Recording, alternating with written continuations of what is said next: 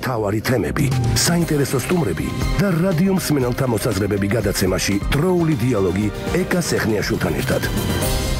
გამარჯობა. პირდაპირ ეთერშია. ჯორჯიან ტაიმსი თქვენ უსმენთ და უყურებთ გადაცემას დროული დიალოგი. ეკა სეხნიაშვილთან ერთად მოლაპარაკება მოლაპარაკების გარეშე. ქრისტიან დანიელსონის მედიაცია უშედეგოდ. რას აპირებს ოპოზიცია და ხელისუფლება შევა თუ არა გირჩი პარლამენტში? კიდევ რომელი ოპოზიციონერი დეპუტატებმა შესაძლოა შეიცვალონ გადაწყვეტილებები? რომელ პარტიებს ასახელებს ხელისუფლება რადიკალურ ოპოზიციას? და რატომ ვერ მორიგდნენ მხარეები? დღეს დროული დიალოგის სტუმრები. პირველი სტუმარი ბატონი იაგო ხვიჩია გირჩის ლიდერი ბატონ იაგო. მოგესალმებით დიდი მადლობა რომ გვერდთვებით პირდაპირ ეთერში. მოგესალმებით მადლობა მოწვევისთვის აა ბატონ იაგო, პირველი კითხვა რითაც მინდა თქვენი დავიწყო ცალსახაა, ჩვენ უკვე ვნახეთ შედეგი უშედეგოთ, ასე ვთქვათ, გუშინდელი მოლაპარაკების და მედიაციის, თუმცა გირჩს ჰქონდა ცოტათი განსხვავებული პოზიცია და დღეს უკვე გაიჟღერა ალბათობამ, რომ გირჩი გააგრძელებს დამოუკიდებლად ქართულ ოცნებასთან მოლაპარაკების ფორმატს და შესაძლოა ვიხილოთ კიდევაც პარლამენტში ამას დაემთხვა. ამავე დროს თქვენს Facebook სოციალურ ქსელში Facebook ვებგვერდზე გამოკითხვები დაუჭერთ თუ არა მხარს გირჩის წარმომადგენლების შესვლას პარლამენტში. როგორი არის თქვენი პოზიციები ამასთან დაკავშირებით? ჩვენ ჩვენ ჯგუფებში სულ ატარებთ მსგავს გამოკითხვას. ხო, მაგრამ ძალიან საინტერესო დაიმთხვა დღეს უფრო რაღაცა ისეთ წერტილოვანი დაწმასავით იყო. დიახ. არ არ არის მან ზაღლის თავი დამარხული თორე არ დაგიმალავთ. მე ესეთ გამოკითხვებს ვატარებ პერმანენტულად ჩემი მეგობრების ჯგუფში Facebook-ზე, სადაც არიან თუმი მხარდამჭერები ზოგადად და შესაბამისად მე მათი აზრი ხშირად მაინტერესებს საითკენ მიდიან. ამიტომ ასეთ გამოკითხვები მე არაფხოლოდ ახლა არამედ ბევრჯერ ჩამდარები აქამდე სხვადასხვა დროს. და ეს არ უკავშირდება იმას, რომ მე პარლამენტში იმას აქვია შეძრომას ვაპირებთ. ანუ მას მაგასთან არ არის კავშირი, მოკლედ ჩვენ გვაქვს ჩვენი გეგმა ზოგადად სამოქმედო, რომელსაც ნელ-ნელა გავაცვლოთ საზოგადოებას. აა და ეს გეგმა უკვე ჩამოყალიბებული სახით არსებობს, ამიტომ მასზე გავლენას ვერ მოახდენ და ეს შედეგები რა შედეგების გამოკითხვაში იყო. არც ასე არც ესეთი ფორმით, უბრალოდ პროექტის დასაწყისში გავზომეთ რაღაც ტიპის მოსაზრება ადამიანების ჩვენი მხარდამჭერები. თუმცა ფაქტია, რომ მაინც განსხვავებული პოზიციები ქონდათ გუშინდელთან მიმართებაში და ისიც ცალსახაა, რომ თქვენ აპირებთ ქართულ ოცნებასთან მოლაპარაკების ფორმატის გაგრძელებას, ხო? განსხვავებით ოპოზიციის დანარჩენი ნაწილისგან. კი, რა თქმა უნდა, ჩვენ ვაპირებთ ქართულ ოცნებასთან რა თქმა უნდა საუბარს, ასევე ჩვენი გეგმების შესახებ ჩვენ გვინდა რომ ზოგადად ჩვენმა კოლეგებმა იცოდნენ და ტელევიზიით არ იყოს ეს გასაგები. აქედან გამომდინარე, ისაც ვაპირებთ მათთან საუბარს და საქმის კურსი ჩაყენებას ჩვენი შემდეგი ნაბიჯები როგორი იქნება? მათ როგორც კოლეგებმა ეს უნდა იცოდნენ. ესე როგორც ჩვენ ოპოზიციას ამას ხშირად ველაპარაკებოდით? ახლა ფაქტია რომ ველაპარაკება ვერ შედგა ჩვენ დავკარგეთ იმედი რომ ქართულოსნებას და ნაციონალურ მოძრაობას შორის რამე მოლაპარაკება შედგება. აა ნუ ფაქტობრივად ასევე გვეწურება იმედი მასთან დაკავშირებით რომ ამ პარლამენტისგან რამე შეიძლება გამოვიდეს. აქედან გამომდინარე არსებობს ორი გზა ჯერჯერობით ქართული ოცნების გზა აა რომელიც ნიშნავს იმას რომ აიცი პარლამენტში ვინ შედის რაღაცნაირად ჯადოსნური ჯოხივით ყველა საკოცებენ ისეთი პირობებით უნდა ხალხი შესვა და მეორე ოპოზიციის ნაციონალური მოძრაობის გზა რომელიც ნიშნავს აა ქუჩაში დგომას ხან 15 მაისი მერე ის რომ ჩაფლავდება 15 ივნისი მერე ივლისი და ასე დაუსრულებლად ჩვენ არც ერთი მათგანი არ გვიდა. ჩვენ გვინდა რომ ეს დაპირისპირება. თქვენი აზრით ჩაფლავდება მაისის ოპოზიციური გამოსვლები. ფაქტია რომ დღემდე განსაკუთრებულად გამორჩეული მუხტის აგორება ვერ შეძლო ოპოზიციამ, ხო? აა მე არ ვიცი ჩაფლავდება თუ არა არ მინდა რომ რაღაცა ადამიანები ცუდი ვუსურო უბრალოდ წარმატებისთვის მეტი შრომა ასათირო და მე ამ შრომას ვერ ხედავ სამწუხაროდ ოპოზიციაში ვერც მანამდე ვერ ხედავდი. აა იმ გულწრფელობას რომელიც წარმატებისთვის არის საჭირო. აა აქედან გამომდინარე ჩვენ ვართ პოლიტიკური პარტია, რომელსაც არ გვინდა ამ თამაში მონაწილეობა არც ქართული ოცნების ხარის არჩევა, არც ნაციონალური მოძრაობის ხარის არჩევა. ამიტომ გვინდა პროპორციული არჩევნები ბუნებრივი ბარიერით, რომ ეს საჭიროება არ დამდგარიყო. არასოდეს ქართული პოლიტიკური სპექტრისთვის. მაგრამ ნუ რაც არის ეგ არის. ბატონო იაკო, არ მოდიოდა ოცნება ამ ბუნებრივ ბარზე, იმიტომ რომ აი მაგალითად ბატონმა ვახტანგ მეგრელიშვილმა თქვენი პარტიიდან წარმომადგენელმა ხო ამ მედიაციის უშუალო მოლაპარაკების პროცესში განაცხადა, რომ ოცნება ამ დოკუმენტს ხელს აწერდა, თუმცა ოპოზიციამ თავი გიორგი რურუას кейსის გამო შეიკავა. მისი თქმით, ის მზად იყო გუშინ კრისტიან დანიელსონის მიერ წარმოდგენილ დოკუმენტზე ხე ხელი მოეწერა, მაგრამ ფორმატიდან გამომდინარე ამის საშუალება არ მიეცა. რა იყო თქვენთვის, თქვენი პარტიისთვის იმ დოკუმენტში ხელმოსაწერი? იყო ის ბარიერი, რაზეც თქვენ ბუნებრივი ბარიერი გათვალისწინებული, რაზეც თქვენ საუბრობთ ახლა? არა, ეს ხელში ეს დოკუმენტი უშინდელი იყო არა გირჩ და ქართულ ოცნებას შორის, არამედ ქართულ ოცნებას და ოპოზიციას შორის გასაფორმებელი დოკუმენტის პროექტი. სადაც ბუნებრივი ბარიერი არ იყო მითითებული, იყო 2%-იანი ბარიერი ორჯერადად მითითებული, რომელიც არსებულზე ბევრად უკეთესია ცხადია, მაგრამ არ არის ბუნებრივი ბარიერი და ასევე ბევრჯერ უარესია ბუნებრივი ბარიერზე. თუმცა ჩვენ ცხადია არც ამის გამო არ ჩაგვიშლია შეთანხმება, ჩვენ ვიყავით მოწადინებული რომ შეთანხმება შემდგარიყო. აა თუმცა ნუ საბოლოო ჯამში მაინც ორივე ხარის ბრალებლობით აა ეს შეთანხმება არ შედგა. და ნუ ფიზიკურად ფაქტობრივად აა მივიღეთ სიტუაცია, როცა ქვეყანაში პარლამენტი არ გვაქვს და ნუ დიდი აზრი ალბათ აწე აღარ ექნება ამ დისკუსიებს. ახლა სა ორი წლის მერე გინდა შედგეს პარლამენტი, გინდა არ შედგეს.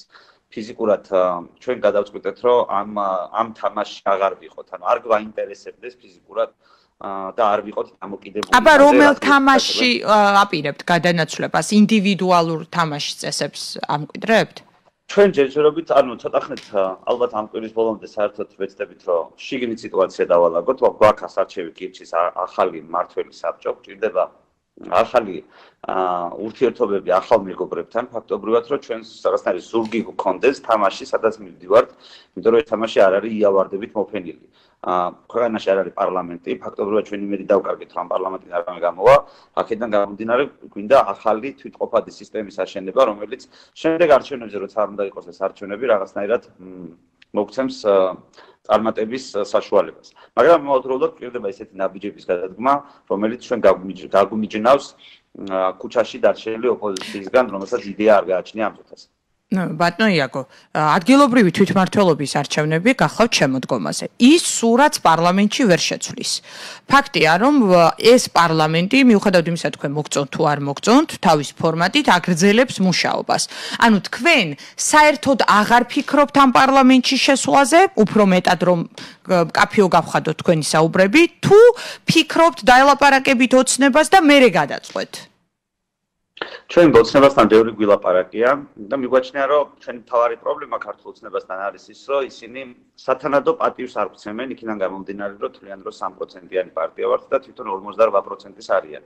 ჩემი აზრით ამ ამ ამ ჟელობაში ბევრი შეცდომა იქიდან გამომდინარე რომ ამ მოცემულობით რა მოცემულობაც ახლა არსებობს საერთოდ სხვა კონფიგურაცია სინამდვილეში პოლიტიკური პარტიების თუ დააკვირდებით ამას. მაგრამ ქართულოცნებას ჯერჯერობით არ უნდა ამის აღიარება და დაუშვათ ის ცდილობს რომ პატარა პარტიებს ეუყუროს როგორც აი ალეკოელისაშვილის პარტიას უყურებს პარლამენტში. ჩვენ გვინდა რომ ეგ რაღაცა არ გვინდა ამ თამაში მონაწილეობის მიღება ქართულოცნებას არ დავეხმარებით იმაში რომ ერთპარტიული პარლამენტი ეს დამღა მოეხსნას? დამღა მოეხსნას და მან ამაში არაფერი არ გადაიხადოს. არაფერი არ დაწმოს რეალური, მაგაში უბრალოდ არ მივიღებთ მონაწილეობას. მიუხედავად იმისა, რომ რა უნდა გადაიხადოს, მაშინ ასე დავაკონკრეტოთ. ისაც დაპირდა ბიძინა ივანიშვილმა ქართულ ხალხს, ასე ჩვენ დიდი ხანია ვსაუბრობდით. და გარანტიაც გარანტიასაპირობაც დავდეთ, რომ ამაზე ოპოზიცია შევიყვანდეთ. ახალ პირობა ჩვენი ძალაშია. უბრალოდ ქართულ ოცნებას ამის შესრულება არ უნდა, ისე როგორც სხვა არსებითი პირობების შესრულება ზოგადად არ უნდა. მე მას არ ვამბობ, რომ ქართული ოცნება არ იყო მზად არსებითი პირობების შესასრულებლად, თუ ყველა ოპოზიცია რამ ხელს მოაწერდა ამაზე.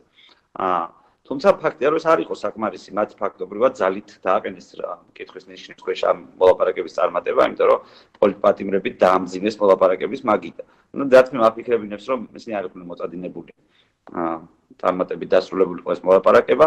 აა მე მესმის რომ ისინი გაათამამა იქ ფაქტმა რომ არ დადასტურდა ქართული ოცნების მიმარჩენების გაყალბების ფაქტი, მაგრამ ამის მიუხედავად მათ მოუწევთ ერთ პარტიულ პარლამენტში ასე მარტო ჯდომა.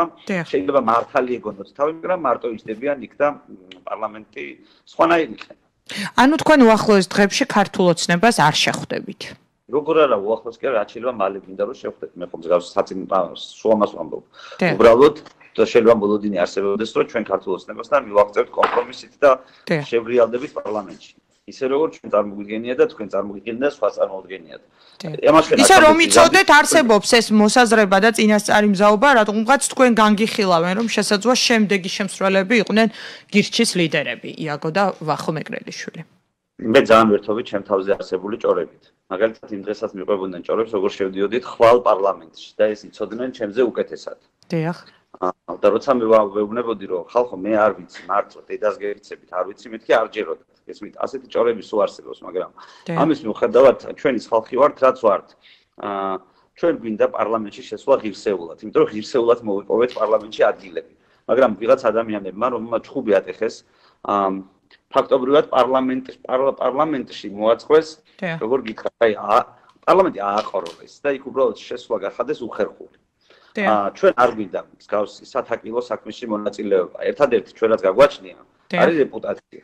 ჩვენ არავინ არ გადაგვიგდია რაღაცა მილიონი სხვადასხვა ქარტეხილები ყოფილა ჩვენ თავს მაგრამ ნუ ფიქრობ რომ ღირსეულად გადაგვიტანია ისე რომ რაღაცებში არ გავსრულვართ ახლა უნდათ რომ გავსვარო გესმით ან ერთმა მხარემ გავსვაროს ან მეორე მხარემ გავსვაროს და ცდილობენ სხვა სათამაშო სივრცე არ დატოვონ. როდესაც ქართული ოცნება გელაპარაკება ის გელაპარაკება ის განწყობითო შენ მაინც სხვა გზა არა გაქვს? კაცო ამისასთან და წახვიდე ან ჩვენთან. ჩვენია მაგალითად მედია სივრცე ჩვენია ესა ისა. ორივე მხარე ხო ამ გაშანტაჟებს სინამდვილეში და ჩვენ გადავწყვიტეთ რომ რაც არ უნდა და მოხდეს გირჩვა გააგრძელოს დამოუკიდებელი ფუნქციონირება თუ შესაძლებელი იქნება ამ ქვეყანაში. თუ არ იქნება შესაძლებელი ამ ქვეყანაში ფუნქციონირება, ჩვენ არ შევეკრებით არც ნაციებს და არც ხოცებს და ჩვენ წავალთ ამ ქვეყნიდან საერთოდ და სხვა ქვეყანაში გავაგრძელებთ სხვა საქმიანობას. მაგრამ ნაციებს და ხოცებს არ შევეკრებით. აი ბატონიაგო ეს ძალიან სერიოზული განაცხადი, ანუ სხვაგან იმოღვაწებებთ პოლიტიკური თვალსაზრისით, ანუ პარტიას დააფუძნებთ, მაგალითად სადმე შვეიცარიაში ან თუდაც ბრიუსელში ბატონ დანიელსონს იქვე ნახავთ ან სადმე მე ესეთ ადგილას თუ რა ხდება? არა, პოლიტიკა ჩვენ მოსჯილი არა გვაქვს. ცხოვრებაში რაღაცა დროს გადავწყვეტეთ, რომ ამ ქვეყანას რამე რამე დავხმარებოდით, ისე როგორც ჩვენ წარმოგიდგენია. ძალიან ძალიან პესიმისტური მომეჩვენა თქვენი ნოტები და რატომ რეალურად აი რაღაცნაირად ფიქრობდი რომ თქვათ და თვითონ უცნების გამოსვლებიდანაც პარლამენტში? არა. ასე ძალიან უტრირებული ნათქვამია თქვენის მხრიდან. უბრალოდ აი მაგალითად რადიკალურ პარტიებს შორის თქვენ არ დაგასახელეს, აი ესეც ამნიშნულოვანი იყო და ფიქრობთ თუ არა რომ საზოგადოებას სწორედ თქვენაირი პარტიები ჭირდება? აი მოლაპარაკების ჩაშლის პროცესში ნაციონალური მოძრაობის ხვედრითი წილზე მიანიშნებთ თქვენ ფაქტია, ხო? ანუ რადგანაც მას ესაუბრება ოცნება როგორც მეორე მძლავრ პარტიას. ნაცნობრაობის როლი რო არის ამის შაშლაში ხო რავი აქამდე წვითხვამს ეს და ამაში არაფერი არის გასაკვირი. უბრალოდ მარტო ნაცნობრაობა მოძრაობა არ არის აქ ამ ამბავში შუაში. ქართული ოცნებაც მას ეხმარება. მას უნდა და პარლამენტი ნაცნობრაობის მოძრაობის გარეშე. სადაც ვინჩევა ნუ ყველა ხოცდება. ნუ ავტომატურად ესეა. შენ თუ ასე აწყო პარლამენტს რომ ვინც იქშევა აა ის უკვე უნდა გახდეს ქუჩაში დარჩენილი და ციხის ნაწილი ციხეში დარჩენილი ნაცნობრაობის მოძრაობის რეპრესიის თანამონაწილე. ეგ არ არის სწორი ჩემი აზრით და ჩვენ არა ვართ ეს ხალხი რომელიც ამაზე მიდის. აა ანუ თქვენ თუ შეხვალთ განკოცებულები არ გინდათ რომ იყოთ, ხო? თქვენ თუ შებძანდებით ანუ პარლამენტში განკოცებულები არ გინდა რომ გახდეთ, ხო? არა, ნუ უბრალოდ ეგ რო გდომოდა ხო აქამდე ფულს მოთხოვდით ქართულოცნებას ეგ რო გდომოდა. აი ძალიან მარტივად ამდენს კი არ ვიაჭრებთ, კაცო, ყველა ფულს ხოვს ქართულოცნებას. შესაბამისად რა პრობლემა არის მან და ანუ ღარიბი პარტია კი არ ვიქნებოდით? და ვიტყოდით რომ არაფერზე არ გვევაჭრებით ქართულ ოცნება. მოდით ფული გადაგვიხადეთ. ამას ვეტყოდით მაგრამ ხო არ ვეუბნებით. ესე იგი არ გვინდა. სხვა რამე გვინდა. შესაბამისად ამ სხვა რამისთვის საჭირო არის ღირსეულად შესვლა პარლამენტში. თუ იქ ღირსეულად ვერ შეხვალ და ტრამვას აიყიდებ მე ჩემპიონი ვერ გახდები. ჩვენ ვართ პარტია რომელსაც უნდა ჩემპიონობა კი ბატონო. მაგრამ აი თქვენ თვითონვე ამბობთ, რომ ვერ დაუმტკიცდა ოცნებასო, მან რომ არჩევნები გააყალბაო და ტრამვებს რატომ იყიდებთ მაშინ იქ შესული? ანუ გაბულინგებთ დანარჩენი ოპოზიცია? თუ რატომ იყიდებთ ტრამვებს? მოდი მაშინ ასე დაგისვამთ კითხვას. მე არ ვარ ის ადამიანი, რომელსაც სხვა ოპოზიცია დააბულინგებს. მithქვამს კიდეც ეთერში, რომ იქით მისვამენ ბულებს. ეგ არ არის არაფერ შუაში. უბრალოდ წარმოიდგინეთ, რომ აი წარმოვიდგინეთ რომ საქართველოს პარლამენტში ისეთი ამბავი მოაწყვეს ხოცებმა პროსტი უბრალოდ ისეთი ამბავი მოაწყვეს რომ იქ ყოფნა იქ შესვლა ავტომატურად გავლენას ახდენს შენს რეპუტაციაზე გასაგებია რომ რეპუტაციაზე არ შესვლა ახდენს გავლენას მაგრამ უბრალოდ წარმოვიდგინეთ ჩვენ ვართ ადამიანები რომლებიც ყველაფერი გააკეთეს სწორად ფაქტობრივად უფულოდ მოიგეს არჩევნები მოხდნენ იქ და ახლა უნდა გახდეს სათაკილოდ. ეს ამბავი უნდა გავხადოთ სათაკილოდ, იმიტომ რომ ვიღაც სულელმა ხალხმა ერთმანეთს ხვირპილი დაალეწეს და პარლამენტში შესვლა ხალხის არჩევანის განხორციელება კი არ არის. არამედ ვიღაცის გვერდზე დგომა. ამ შემთხვევაში კოცები. ვიღაცის გვერდზე დგომა კი არ ეხავს. უბრალოდ უნდა ვიცოდეთ, რომ ის კაცი, რომელიც გვერდზე თუნდაც ასეთნაირად დგები, რაღაცა ფორმით, შესაძლოა რომ არ გინდა. უნდა იცოდეთ ის, რომ მინიმუმ ადამიანების ციხეში გამოკეტვას და რეპრესიებს არ დაიწყებს. ხო და ნუ რავი, რა გარანტიები არსებობს მაგის? ხო ქართულ ოცნებას ამის გარანტიაც არ მოუწია ჩვენთვის. წარმოიდგინეთ, რამდენი რაღაცა მოხდა. ჩვენ ხო რაღაცნაირად მოლაპარაკება გქონდა მანამდე. დიახ. ნახევრის წინაც რომ აი დადეთ პროპორციული შევალთა. კი, კობახიძე შეხვდით, ხო, თქვენ?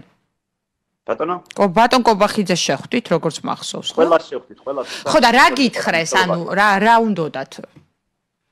თქვენგან. ვის დაუნდოდა? კობახიძეს ქართულოცნებას. ну, რა ვიცი, ხა მე მგონი ამაზე ბევრი გვილაპარაკია, 12 საათიანი საუბრები მქონდა სხვადასხვა დროს.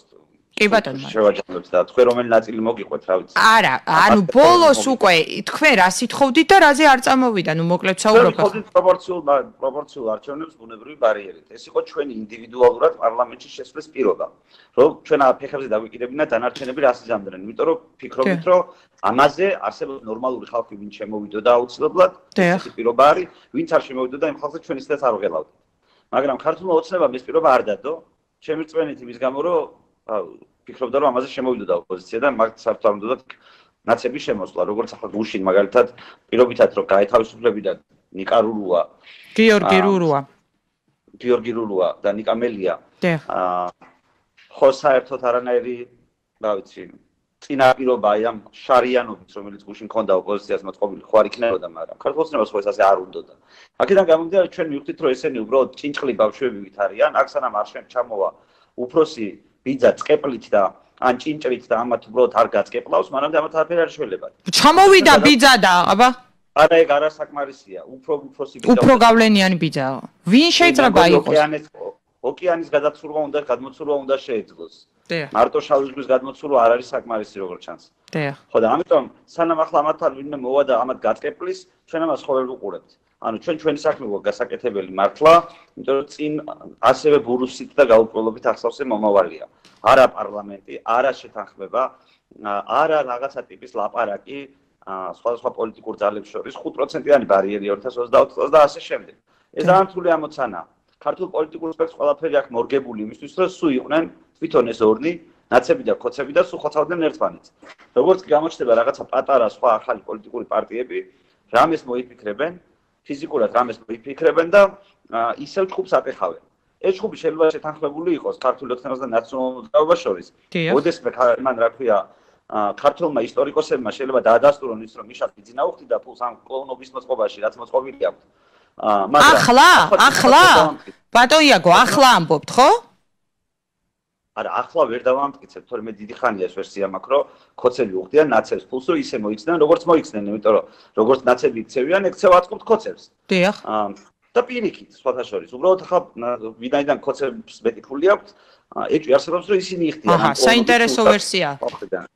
კი, ეს ჩვენ დიდი ხანია ეს ვერსია გვაქვს, უბრალოდ ეს ვერსია დარგი. საინტერესო დღეს სამწუხაროდ ჯერ ვერ დავამტკიცებთ, მაგრამ არ გამოვრიცხავ რომ მომავალში ასეთი სიურპრიზები შემოთავაზოს ისტორია. კი. ბატონო იაგო, თუმცა აი ხა დავიდეთ ამ თამაშიდან. დავიდეთ, უბრალოდ დავიკიდოთ ეს ამბავი და ვთქვათ რომ თავიც კისერის გიტეხიათ. რაც გინდა ქენი ჩვენ ჩვენი ძალიან ცუდი ალბათ ზოგადად პლურალური პარტიული სპექტრისთვის და საომალოდ ქართული პოლიტიკის განვითარებისთვის ესეთი მიდგომები. ბატონ იაგო, ჩვენ გვისმენენ და გვწერენ პირდაპირ ეთერში და თქვენ არიყავითო ბატონ იაგო, იარაღი მომეცით, მელია უნდა მელია მემუქრებაო და ახლა ითხოვთ მის გამოსვლასო აი მოგწერათ ქალბატონმა ნანო როულერმა. აა სხვადასხვა საკითხია, საერთოდ სხვადასხვა საკითხი. ნიკა მელიასთან მე პიროვნული გასარჩევი არაფერი მაქვს, ვინ რაც კონფლიქტი ქონდა იყო საქმესთან დაკავშირებული კონფლიქტი.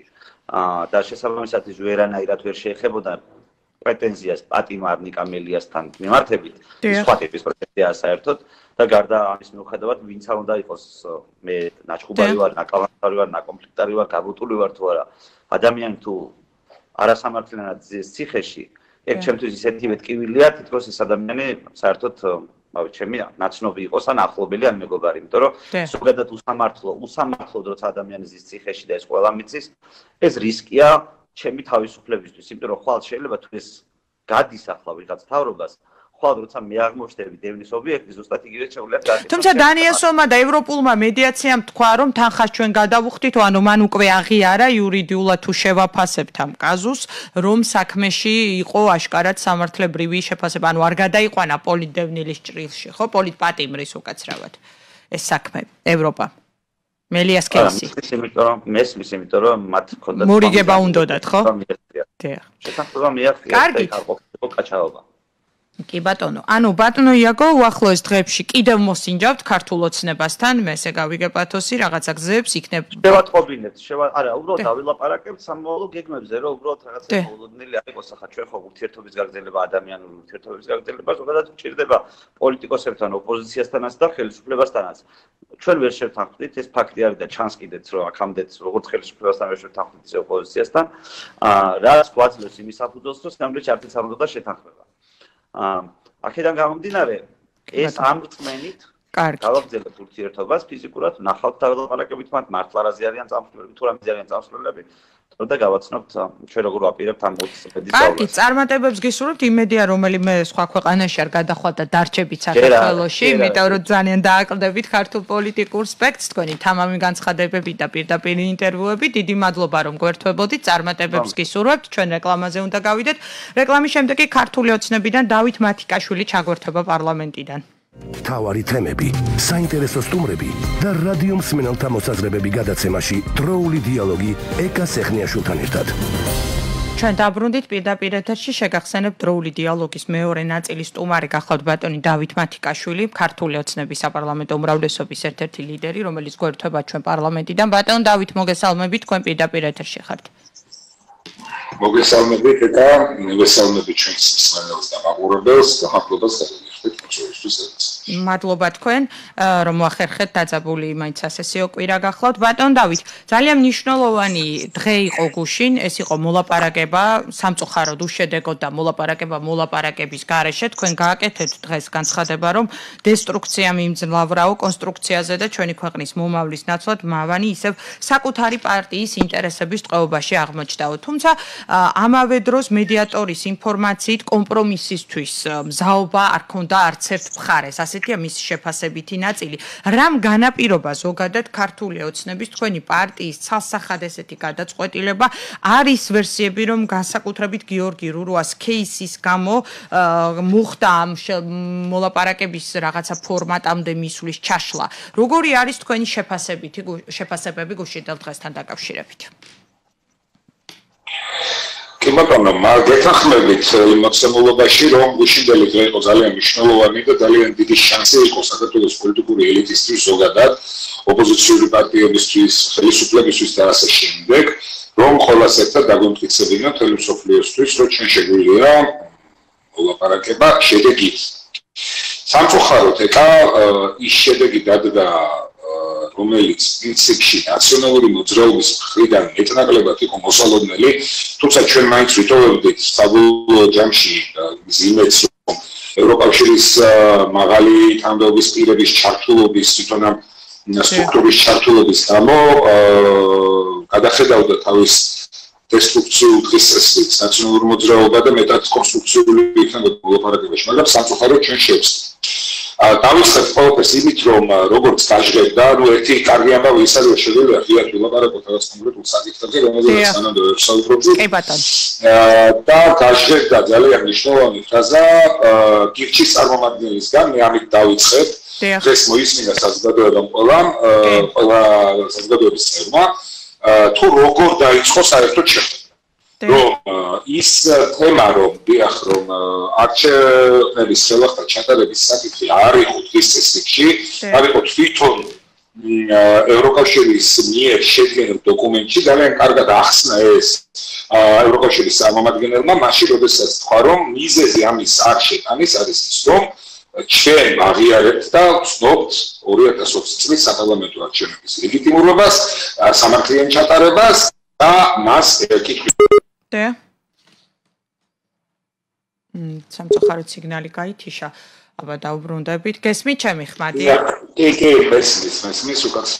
დავად აა თემა ის არის რომ ნახეთ ეკა რომ დაუკვირდეთ ჩვენ მოვლენების განვითარება საერთოდ საიდან დაიწყო ეს პროტესტი საიდან დაიწყო დესტრუქცია და ასე ვთქვათ სასურველი სინამდვილე დასაწყებად სწორედ იქიდან რომ ოპოზიციური სპექტრი რადიკალური ოპოზიცია განსაკუთრებით ერთხმად ამტკიცებდა რომ აი გაყავდა არჩევნები, ამიტომ ყველაფერი არის არალეგიტიმური, რაც ახლა იქნება საქართველოს პოლიტიკაში კურსი და ამიტომ ჩვენ უნდა ვიმართოთ სხვადასხვა ზოგადად. ეს გასაზრდობა ძალიან კარგად ახსოვს. სწორედ ამ სიტყვების შემდგომ კიდევ ერთხელ და ეს მანამდეც მოხდა და ჩვენ მე და თქვენ ვისაუბრია ამაზე არის ის აა სტუდიაში სხვათა შორის აი მართლაც ესეთი ბანკლივით ჩამოიშალა ის ყველაფერი რაც ოპოზიციას თითქოს სამართლიანად ჩალებში ქონდა თავის ასე შეერაგების არსენალში რითაც ის ცდილობდა დაემტკიცებინა თავის სიტყვაზე ანუ ამაზე შევთანხმდეთ რომ რეალურად პროტესტი და დესტრუქცია იყო ხელოვნურად გამოწვეული არასწორი ინფორმაციის საზოგადოებისთვის თავის მოყვევის გზით და ყველაფერი გაკეთდა იმიტომ რომ საბოლოო ჯამში საქართველოსი პროცესები შესულიყო ჩიხში და ეს ყველაფერი გააკეთა ნაციონალურმა მოძრაობამ და კიდე რამდენიმე პარტიამ რომელიც დღეს კვლავ დესტრუქციულ გზაზე დგას. რაც შეეხება კომპრომისებს. ქართულ ოცნებას კარგად მოგეხსენებათ არაერთი ინტერვიუ იქნა ამ მიმართულებით მიცემული არახოლოდ ქართული ოცნების მხრიდან. იმ დოკუმენტთან მიმართებაში რომელიც დოკუმენტიც იქნა წარმოდგენილი არანაირი ცითელი ხაზები არ ქონდა ანუ კომპრომისული მიდგომა თავიდან ბოლომდე გააჩნდა ქართულ ოცნებას იყო ქართული ოცნების მხრიდან. კონკრეტულ საკითხებზე არგუმენტირებული შედავება იქ მოცემული ასე ვთქვათ კათოლიკის საარჩევნო კომისიის დაკომპლექტებასთან დაკავშირებით და ასე შემდეგ, მაგრამ ეს არ იყო იმდენად პრინციპული, რომ იმ მოცემულობის შემთხვევაში თუ კი ოპოზიციური სპექტრი ხელს მოაწერდა ამ დოკუმენტს, ქართულ ოცნებას უარი ეთქვა ამ დოკუმენტის მოწესრიგება. ქართულ ოცნების ხრიდან იყო სრული გზაობა და მზადყოფნა ყველა მიმართულებით წასულიყო აბსოლუტურად კომპრომისზე და დოკუმენტისთვის მოეწერა. ხელი, რომელიც უნდა გამხდარიყო რაღაც ბატონ დავით, მაშინ რატომ გახდა, აი მაგალითად გირჩის ერთ-ერთი ლიდერი ვახტანგ მეგრელიშვილი ამბობს და ბატონმა იაგომაც დაადასტურა ჩემთან საუბრისას, რომ ანუ ერთ-ერთი მნიშვნელოვანი პუნქტი იყო სწორედ ოპოზიციამ თავი გასაგებია, რომ მათი გაღიზიანება გამოიწვია იმან, რომ თავდაპირველ დოკუმენტში ვადამდელი არჩევნების თემა საერთოდ არ იყო, ეს ჟურნალისტებისთვის შემდეგ გაცხადდა ხო თქვენივე ინტერვიუ კმაყოფილებიდან კი ბატონო გასაგებია ეს მაგრამ აი შემდეგ რომ მაინც გაგრძელდა ეს მოლაპარაკების პროცესი აი აქ გიორგი რურუას кейსის გამო кейსը რატომ არ მოხდა რა იყო ასეთი პრინციპული ქართული ოცნების მხრიდან იმიტომ რომ ამ შეთანხმებაზე უფრო მაღლა ხო არ იდგა გიორგი რურუას თქვა თუნდაც პოლიტ პატიმრობის სტატუსის ქვეშ გამოსვლა ხო თქვენთვის. ანუ არ იყო მნიშვნელოვანი თქვენთვის მათი შემოსვლა და თუნდაც აი ამ შეთანხმებაზე ხელის მოწყ მოწერა? ამ ეკა მე მგონი ფლაც სწორად არ ვაყენებ საკითხს და რატო გეტყვით? აა როგორც კი ოპოზიციის ხრიდან ულტიმატუმის ელით დადგა ხელახალი არჩევნების ჩატარების საკითხი, ჩახალეთ რომ დანარჩენი ყველა საკითხი იმ მოცემულობაში, როდესაც ამ შეთანხმებაზე ამ ყოველს უნდა მოეწერა ხელი და ანარავინას და ეს თქვენთვის სწორია, ამ მოცემულობაში ყველა დანარჩენმა საკითხმა აა როგორ ვიხოთ აქტუალობა დაკარგაო ვერ გეტყვით მაგას აქტუალურია ყველა საკითხი ცხადია მაგრამ უკვე ოპოზიციის დესტრუქციული აეს რაღაც ციფრები ხაზები იმას მიანიშნებს რომ რეალურად მათ არანაირი შეთანხმებაზე ხელისუფლება არ სურდა და რეალურად ცხადანარჩენი საკითხი მხოლოდ და მხოლოდ თვითონ გამოწვევილია და მათთვის ასე ვთქვათ საზოგადოების კიდევ ერთხელ შეცდომაში შესაძლებლობა და არა რეალური შედეგი. ეს გასაგებია. მაგრამ მაგრამ დავასრულებ თუ შეიძლება ეკალე მაგრამ უფრო ნათელი გახდება ყოველთვის. დიახ. აა დავიწყოთ იმით რომ კიდევ ერთხელ ვიმეორებ რა რა ფორმითაც და რა მიდგომითაც არ უნდა წარმოადგინოს ოპოზიცია თავისი სტარი შეხედულება ეს იქნება თხუილი პატიმრებთან დაკავშირებით. არანაირ პოლიტიკურობაზე საქართველოში არ შეიძლება იყოს ელემენტარულად საუბარი, როცა ადამიანის იარაღის ტარებისთვის დააპატიმრებენ და მეორე საკითხი ხი რო რაც ნიკა მელიას ეხებოდა ეს კარგად გაჟღერდა ეთერით და კარგად ანუ ისაუბრეს სვათ ისაუბრეს ამ თემაზე. იმ გათვალისწინებით რომ არა სამართლებრივი არა აი სუბტაკ პოლიტიკური საკითხი იმ იმ მოცემულობის გათვალისწინებით თუ კი ნიკანორმელია შეასრულებდა მოცემულობას გადაიხდიდა გირაოს და ამ გზით ის დატოვებდა საპატიმროს შემდგომ უკვე ქართული ოცნება იღებდა უპირობო ვალდებულებას რომ არა მხოლოდ ნიკანორმელიასი არამედ 19-20 ივნისის მოვლენებთან დაკავშირებულ არსებულ სამართლის საქმეებზე ყოფილიყო შესაბამისი ამბები. აა, გასაგებია უკვე, დიახ, ეს მინდოდა მე თქვენთვის უკვე რომ. დიახ. დიახ. დიახ, დიახ. ანუ ეს ნათლად გუშინვე დააფიქსირა ირაკლი კობახიძემ, ალამეტის თავმჯდომარე თავაკვაძემ და სხვა სპიკერებმა, შალოყაპოაშვილმა მათ შორის. და აქ ჩანს ქართული ოცნების აბსოლუტურად ღია გულწრფელი ზაობა იმისთვის, რომ მიუხედავად შემდეგი მოცემულობისა, რომ ეკონომიურად ჩაიდინა ძალიან ძიმე დანაშაული, ნუ არსებობს ამ ჩადების ამ დანაშაულის გასაგებია კი. და სანამ არ იქნება განაჩენი დამდგარი, ჩვენ დანაშაულს ემოციას ვერ დავაყო. ის რომ 19-20 ივნისის გოვლენი არის აქტუალური და მნიშვნელოვანი ჩვენი საზოგადოებისთვის. აი სწორედ ამ და იმიტომ რომ შემოქმარიყო შეთანხმება და გასაგებია თქვენი პოზიცია. ძალიან დესტრუქციულ ძალას, აი ბოლომდე დავასრულო ალბათ ჯობია. ძალიან დესტრუქციულ ძალას და ძალისთვის მიცემოდა ასე ვთქვათ სტიმული რომ საპარლამენტო საქმიანობით რაღაცნაირად ამ თავისი დესტრუქციიდან იქნება კონსტრუქციულ რეჟიმში გადმოსულობა აი ამ ყველაფერზე იყო ქართული ოცნება.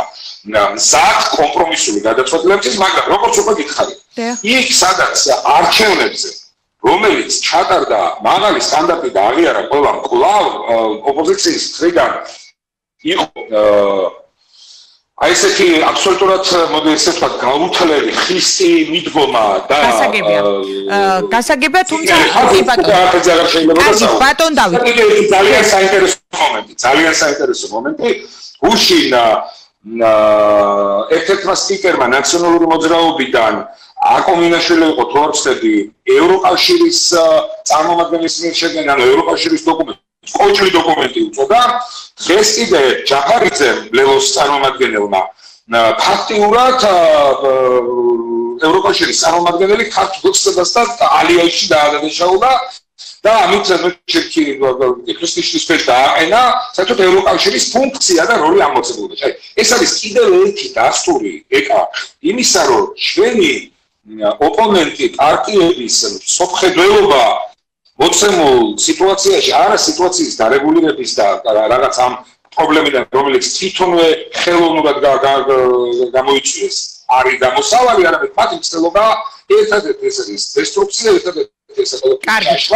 და თავისი ფსევდო სიმართლის დამტკიცება რომელსაც რა თქმა უნდა ვერ დამტკიცებენ იმიტომ რომ თქვენები არის ბატონ დავით გასაგებია თქვენ აფასებთ თქვენის მხრივ თქვენ ოპონენტებს ამ ფორმატში მეორეს მხრივ ისინი საუბრობენ რომ ქართულ ოცნებას არაფერი არ მოუცია რაზეც ხელს მოაწერდა. აი მაგალითად გირჩის ერთ-ერთი წარმომადგენელი ბატონი ვახტანგ მეგრელიშვილი ამბობს რომ და იაგოც იყო ხვიჩია ეთერში ჩემთან და თქვა რომ ისინი გააგრძელებენ ქართულ ოცნებას საუბრებს რადგან აი ისინი ასე ცალსახად არ აყენებდნენ ვადამდელი არჩევნების საკითხს, არამედ ითხოვდნენ თუნდაც აი პროპორციული არჩევნები ბუნებრივი ბარიერით, რაზეც ამაზეც არ წამოვიდა ოცნება. ანუ ოცნება სურსო რომ ოცნება მხოლოდ ნაციონალურ მოძრაობას ელაპარაკება, მას უწევს ანგარიშსო თვითონ კვებავს მას როგორც ოპოზიციურ ძლიერ პარტიასო და არა თანაბარ პირობებში გვაყენებსო და ახლა ასე აი ესეთი ტერმინი ხმარა განკოცებული ვერ შევალო პარლამენტში. ანუ რას რას სთავაზობ სხვა პარტიებს ბატონმა კობახიძემ განაცხადა ეთერში მან დაასახელა ნაციონალური მოძრაობა ევროპული საქართველოს დაასახელა მაგრამ მას არ დაუსახელებია სხვა პარტიები. ხო გიორგი ვაშაძე სტრატეგია აღმაშენებელი გირჩი აი ამ პარტიებს რა რითი ელაპარაკებით რა არის თქვენი ასე ვთქვათ მენიუ რას თავაზობთ მაშინ მათ? გასაგებია რომ პოლიტპატიმრების თემა. კიდევ? თავიდან ბოლომდე ეს შეხედულება არის არის დიახ პარალელური კურსის ასე ვთქვათ ინტერვიუს ხანაწილიდანაც კარგად ჩანს რომ ეს მიმართულება არის მცდარი. მაშინ როდესაც მან ახსენა რომ ამ ძლიერ მოცემულობაში ქართული ცნება ბევრად უფრო მართლად და ანუ სწორად გამოიყურებოდა ამ მოლაპარაკებაში ვიდრე სხვა ძალაო. ეს ესეც ძანა ბატონმა მეგრელიშვილი. ეს არის სტარი მოსაზრება შემდეგი გარემოების გამო. ძალიან კარგი მაგალითი დევს ასე ვთქვათ მაგიდაზე ქართული ოცნების ასე ვთქვათ ურთიერთთანამშრომლობისა მოქალაქეებთან. როდესაც მოხდა მემორანდუმის დაფორმება, ეს არის ყველანაირად ნაციონალურ მოძრაობასთან რაიმე სახის ან დაპირისპირების ან მათთან რაიმე მოლაპარაკების წრეში ამ მემორანდუმს მეორე პარტიაც ევროპელი სოციალისტები შეუერთდნენ და რაც ფუძოლზე ეკა დაამზადდა ბატონ დავით ტექნიკური ხარვეზია თუ შეიძლება რომ ლოკაცია გაასწოროთ. ცოტათი ტექნიკური ხარვეზია და გთხოვთ იქნებ ლოკაცია რომ შეიცვალოთ ოდნავ რომ მივიღოთ სუფთა სიგნალი დიახ აი ახლა კარგია დიახ. კარგია? დიახ. კი ბატონო. დიახ. მოკლედ არაჩვეულებრივი მაგალითი მეთქი. დევს მაგიდაზე იმისა რომ ურთიერთობა სულიად არათუ შესაძლებელია. არამედ ალბათ ამ მოცემულობაში ხა გუშინ რა შედეგიც ნაციონალური მოძრაობის დესტრუქციის მერე დაიდო არის აუცილებელი. აი ეს მაგალითი არის მემორანდუმი მოქალაქეებთან, მას მეთქი შეუერთდა სხვა პარტიაც და ამ მემორანდუმის საფუძველზე შექმნილმა სამუშაო ჯგუფმა არასამთავრობო ორგანიზაციებთან და სხვა დაინტერესებულ პირებთან ერთად, სხვა პოლიტიკურ სუბიექტებთან ერთად შექმნა ისეთი საკანონმდებლო ცვლილებების ბაზა საარჩევნო სისტემაში, რომელიც ერთმეშველოვნად არის ყველა მონაწილის მხრიდან აღიარებული როგორც არათუ უბრალოდ სიგადადგმული ჯერება ძალიან ანუ რას თავაზობთ საკანონმდებლო სისტემაში. ანუ რას გულისხმობთ, ნახეთ? აა რა თქმა უნდა ეკა რა თქმა უნდა ჯობს რომ მოლაპარაკება შედგეს ყველასი ერთად და ერთხელ და სამუდამოდ მე ესეც ვახსენე თქვენ ჩემი ასე ვთქვათ ციტირება მოახდინეთ ჩემი საუბრის და ისიც ვთქვი რომ როგორ მე იქნება ეს ცხელა მოვიცილოთ თავი რომელიც ქართველებს მოგდევს ამ ქართული ასე ვთქვათ შეთანხმების ხშირ შემთხვევაში შეუძლებლობის გამო. მაგრამ ეს პრობლემა გადავწყვეტ დღეს იმ მოცემულობაში რაც გუშინ კიდევ ერთხელ ვიმეორებ და აყენა ნაციონალურ მოძრაობამ და ფაქტობრივად ჩვენს ევროპელ მედიატორებს დაუწუნეს ყველაფერი ბოლოს მათ ქართულ ოცნებასთანაც დაადანაშაულეს ალიანსში. ჩვენ უნდა ძალიან ღიად დავწყათ ისაც ღია ეს კარები მაგრამ კიდევ უფრო მეტად აქტიურობ ბრიტანეთში და პოლიტიკურ სუბიექტთან იქნება ეს ინდივიდუალური ჯგუფური თანამშრომლობა იმისთვის რომ კარგით. კი ბატონო. დავიწროდეს დავიწროდეს სივრცე დესტრუქციის მატარებელი ელემენტების ხრიდან ნეგატიური ასე ვთქვათ შედეგები და ბატონ დავით. ეს არის სრული ბატონ დავით ოპოზიციამ ცალსახა გადაწყვეტილება მიიღო მათ უკვე დაანონსეს კიდევაც მაისის აქციები 15 მაისის გრანდიოზული აქცია ისინი გადიან ქუჩაში გააპროტესტებენ. აი ყველა იმ მოთხოვნას რაზეც არ მოხდა თქვენი შეთანხმება როგორ აფასებთ ამას ორი წუთი დაგვრჩა. გადაცემის დასრულებამდე და კიდევ ერთი კითხვა მაქვს თქვენთან. დიახ. რას ელოდებით აქციებისგან ნახეთ იმ მოცემულობაში, როდესაც საქართველოს გამოიარა და სამწუხაროდ ჯერჯერობით ისევ ვიმყოფებით პანდემიის ძალიან ძიმე რეჟიმი. და ყოველთვის გას ის დრო, როდესაც უნდა ვებრძოლოთ პანდემიისგან დამდგარი ძიმე შედეგების ლიკვიდაციას და ეკონომიკა წავიყვანოთ ცი. ეკონომიკურად ძალიან ძიმე სურათია სახეზე. ალბათ მეთახმებით. ვერ გავიგე რა მითხარით ჩემთან ეკონომიკურადაც მძიმე სურათია ქვეყანაში. აი ნახეთ დავაგზელებ კი მაგას ვამბობ რომ ხო არის ეს ეკონომიკურად მძიმე სურათი არის ზუსტად შედეგი იმ მძიმე ვითარებისა რომელიც იყო საქართველოში თუმცა აქვე გინდა გითხრათ რომ სწორი ეკონომიკური სულებიდან გამომდინარე ეს შედეგი არ არის იმაზე უფრო მძიმე ვიდრე არის. რა შეიძლება ყოფილიყო ეს სწორი ეკონომიკური სულები ხელისუფლებამ განახორციელა. მაგრამ დღეს ჩვენ გვაქვს ლარის კურსთან დაკავშირებული პრობლემები და ეს ყველა კი ბატონო და აქციები რა შუაშია? მითხარით უნდა დავასრულო 2 წუთში. დიახ მაგას კი ბატონო დღეს ჩვენ გვაქვს უამრავი პრობლემა. ჩვენს ქვეყანაში რომელსაც რომელიც საჭიროებს ძალიან კვეთილ და მხისიერ გადაწყვეტას და აღმეთ მუშაობას. და ოპოზიციის მხრიდან არარსებული პრობლემის, თითიდან გამოწვეული პრობლემის, საკუთარი მრუდე შეხედულებების, გამონიავება. ჯერ ერთი პირველი რომ მაგერ ნახავთ ჩვენ საქმექნები და თქვენ საქმექნები და იქნება ზოგადად რა ხარდაჭერას მოიპოვებს ის ქართულ ელექტორატში არ არის ეს ოპოზიციის ელექტორატის დაკვეთა ეკა. თქვენ კარგად დაინახეთ საზოგადოებამ კარგად დაინახა თუმცა ელექტორატის პოზიცია არასოდეს რაოდენობრიობით არის საზღვრება. ბატონ დავით ქუჩაში ესეც იცით თქვენ ალბათ? არა არა ვერ ერთ რაღაცას ვერ დაგეთანხმებით მე თქვენ ვერ დაგეთანხმებით ჩვენ როდესაც დემოკრატიაზე ვსაუბრობ დემოკრატია ნიშნავს იმას რომ კარგა სხვა ასე ვთქვათ სიკეთეებისა ეს ნიშნავს იმას რომ უმრავლესობა როდესაც თulis რაღაცას ასეთად ეს არის მისი პრეროგატივა და შესაძლებელი საზრი არის გასაცვლელი. ანუ უმრავლესობის მე გეუბნებით კიდევ ერთხელ ხას უსწრებ ეკარო. იმისთვის რომ ოპოზიციის ნეგატივი საზოგადოებამ დაინახოს მარტივი ну ყველას არ გულისხმობს სადია მე მაგ დესტრუქტურებზე ლაპარაკი და კიევიდან მართულ პოლიტიკანებზე ზოგზოგიერთზე მარტივია მათი მოქმედებების ჯაჭვი ასე თქვა კარგად გაანალიზო და მიხვდა რომ ეს საზოგადოების დაკეთა არ არის ხუჩი საქციელი ჩვენი საზოგადოების დაკვეთა არ არის აღიარებული ლეგიტიმური არჩევნების კითხვის ნიშნისთვის დაყენება. კი ბატონო, მადლობა. საზოგადოების დაკვეთა ეკა არის ეკონომიკური წინსვლა, ჩვენი აკონტო საზოგადოების დაკვეთა არის რეფორმები, რომელსაც ხალხი მოწდება. და ნაციონალურ მოძრაობასთან ყოველგვარი შეთანხმების გარეშე სახორციელებს არის ბატონ დავით არ შემიძლია ბატონ დავით კითხვა უნდა დავსვა ბოლო კითხვა არ შემიძლია რომ არ კითხოთ გიორგი გახარიას ყოფილი პრემიერის დღევანდელი განცხადებები რომ რადიკალიზმი და რადიკალური პოზიციები დამაზიანებელი ფაქტორია და პოლიტიკური პოლარიზაცია უნდა დასრულდეს. ეს იყო ძალიან სერიოზული პოლიტიკური განაცხადი. ფაქტია ის პოლიტიკურ აქტიურობას აპირებს და აუცილებლად გააკეთებს პარტიას, როგორც უკვე ჩანს კიდევაც და ადასტურებენ კიდევაც მისი გარემოცვიდან. თქვენი შეფასება მოკლედ ერთი წუთიც არ მაქვს.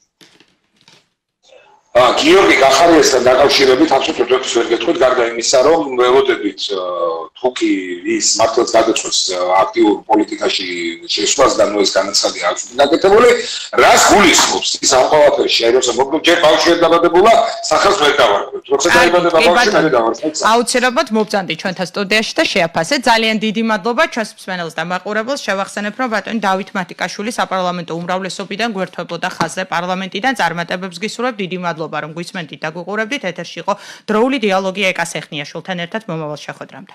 თავარი თემები საინტერესო სტუმრები და რადიო მსმენელთა მოსაზრებები გადაცემაში დროული დიალოგი. ეკას ეხნიაშვილთან ერთად